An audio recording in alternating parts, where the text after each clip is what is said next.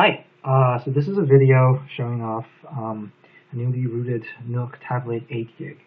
So I bought um, a Nook tablet, the new uh, 8 gig version of, the, of a uh, Nook tablet uh, a couple days ago, and I realized that um, there hasn't been a, a complete uh, root, rooting instructions or uh, videos or anything online. So I decided to spend a couple days and um, use Box's uh, micro SD hack to um, root my tablet, and um, and so here's a video showing uh, the process. So uh, the exact instructions can be found um, below this video, but in essence, you uh, format your SD card, create a 50 gig, uh, a 50 megabyte partition, and put my files um, on the root of the, that partition, and plug it in and reboot. So here I've made uh, a micro SD card ready, and as you can see on this screen, this is the 8 gig version of the Nook tablet. So I'm going to start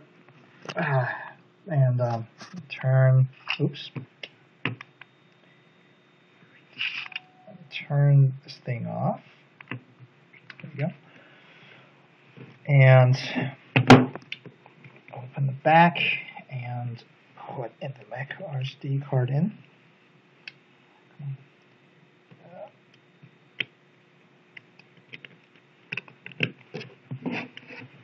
Back and power up.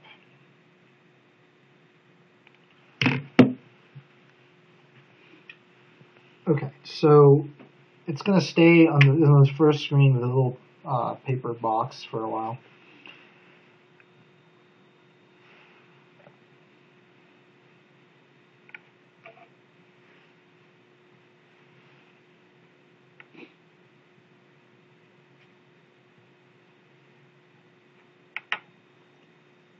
Okay, so um, on the second screen, um, you will not actually see anything change for a while. Um, it's actually copying over uh, files from the SD card into the, the, system partition of the Nook tablet.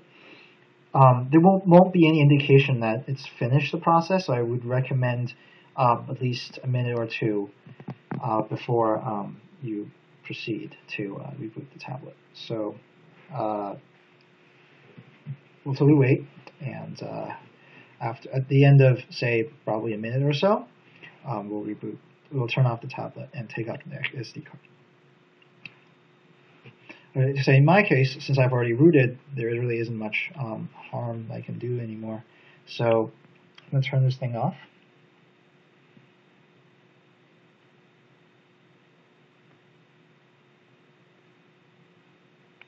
All right course, we have to take out the SD card so it doesn't boot into this again.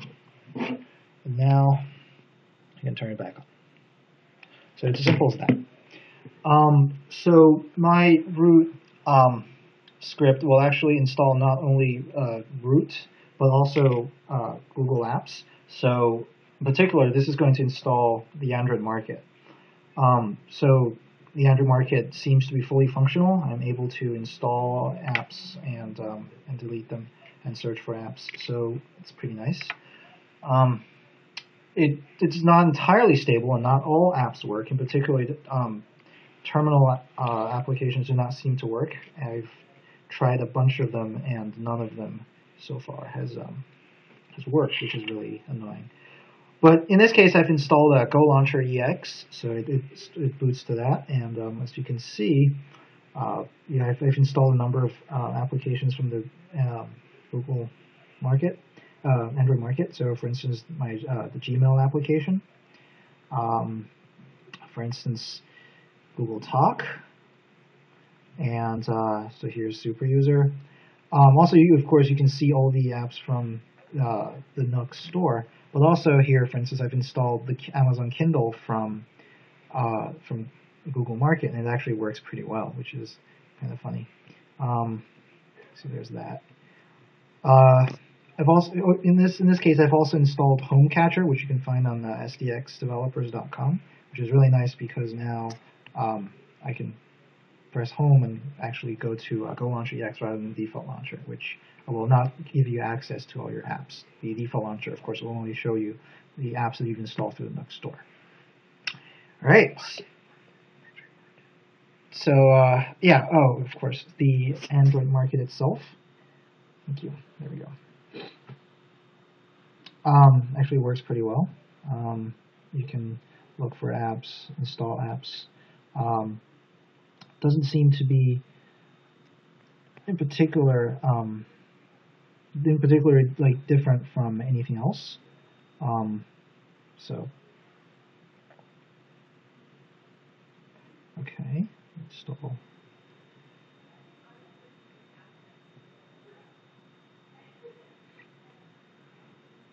Okay. All right, so as you can see, I just installed uh, Doodle Jump.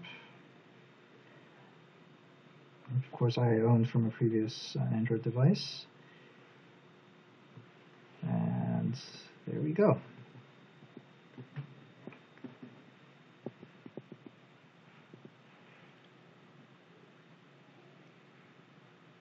All right, so uh, have fun.